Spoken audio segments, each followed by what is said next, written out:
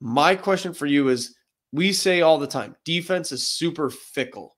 It's like uh, the 2018 Bears team that went to the the playoffs with Trubisky and all that stuff. Like that was awesome. And then everybody in 2019 was like, we're going to do that again. We're going to have 18, we're going to have eight pick sixes just like last year. Is what the defense is doing right now sustainable?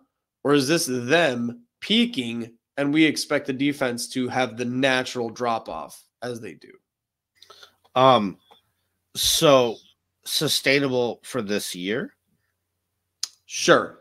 Yes. Let's finish this year before we move on to next. Yes.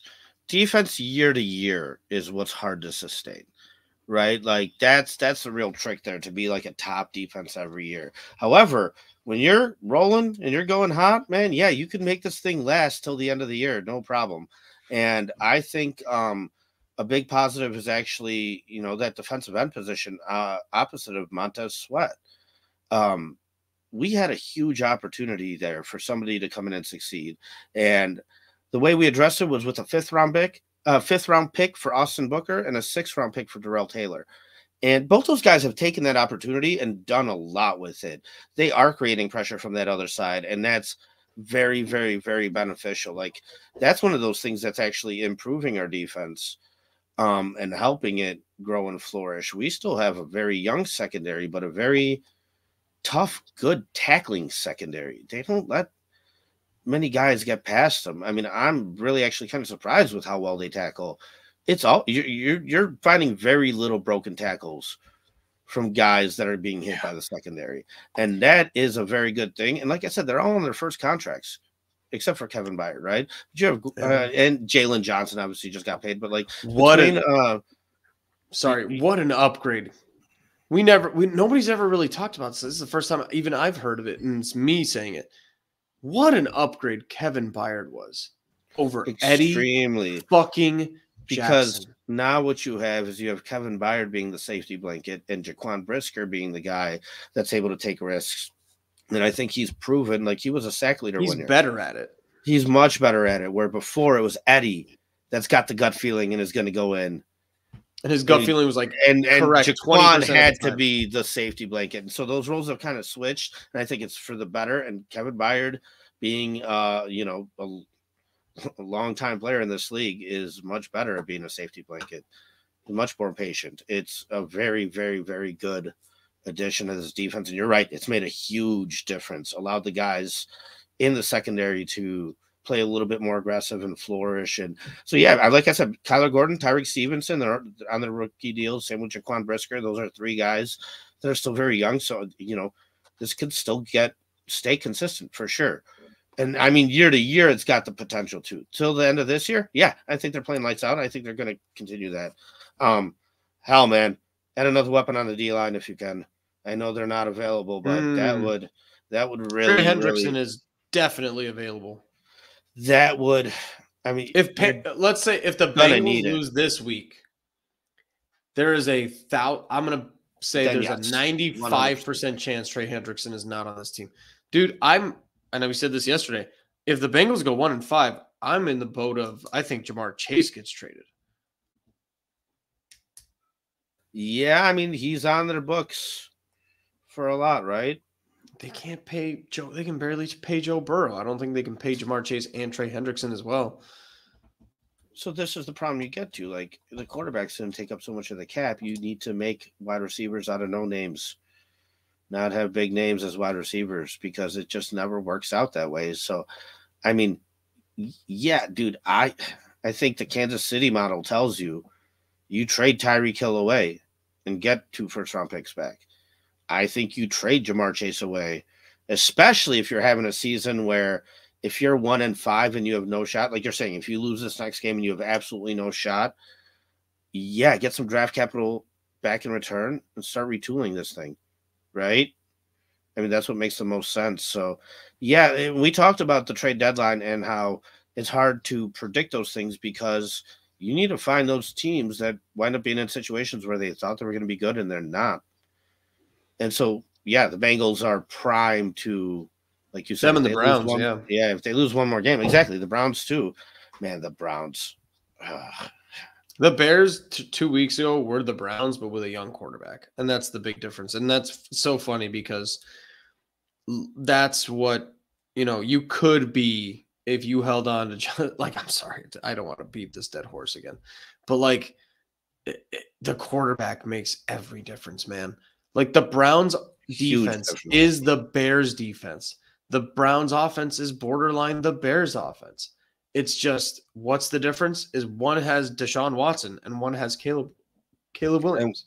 And one's paying the quarterback 25% of their salary. Yeah. Right. And can't get rid of them.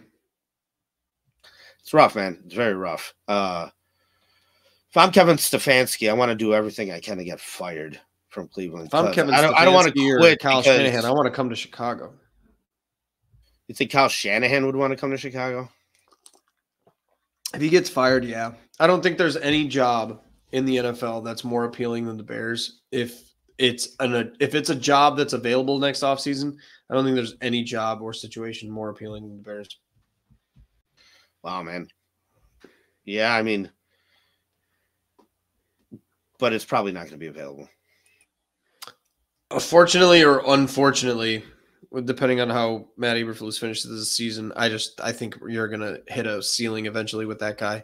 But um, to kind of answer yeah, my own question with what I asked I you, year, I think this defense, and then and I I want to make fun of Matt Eberflus so badly for his principles and all that stuff, but like Jesus Christ, three years later, everything he says that he wants to do as a team, he's doing it hustling to the ball. Nobody's taking plays off. Everybody's it's just like back to 06 Bears where you know you see those highlights where like six guys are just jumping on top of one running back and it's just yeah. never going anywhere.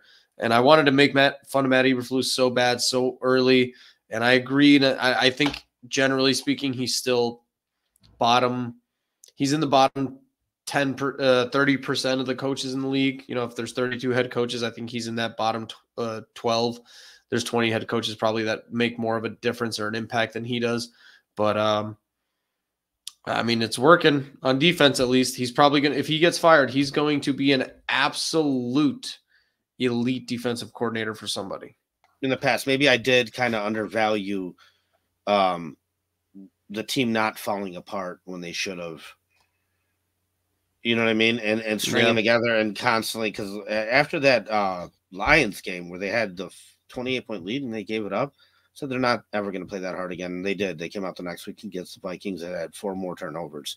So yeah, um, maybe that is valued a little bit more because these guys are playing tough, man. They're playing real tough for him, and this is a defensive led team. And um, I don't think it's the most complex defense either, man. They're not doing anything special out there. So, uh, but they do have guys that could get to the quarterback from multiple positions. You got a corner in Gordon that could get to the quarterback. You got a safety in Brisker that could get to the quarterback.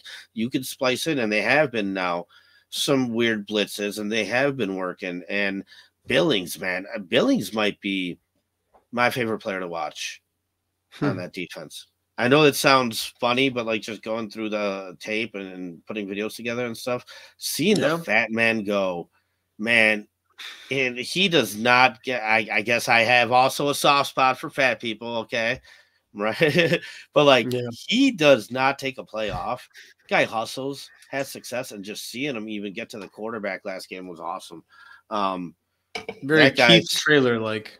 Yeah, that guy's actually um, a very underrated signing. You know, we always talk about the free agents we got. We never mentioned mm-hmm. Billings. He's made a big impact on that defensive line. Dexter has been showing up too. Mm. You know, we got some good pressure up front, and um, it's important. They're clicking. They're really clicking, and I, I don't know. I like what I've seen. It's one of the biggest conversation pieces that we had in the off season, and it's just absolutely irrelevant now that the season has started. Is like, who's your next pass rusher? Who's you're going to be the guy getting pressure? It's just it doesn't matter. The rotation is so solid that every single play there's just a solid, solid amount of pressure. That's probably the strongest part of your defense at this point. And it is, it is, you know, it's one of those things where we need to say I'm sorry, kind of thing, like everybody yeah. does. The nat- national media, local media, we were that was like one of the big three concerns. Everybody needs to say like sorry, you guys did have it under control. Everybody was wrong.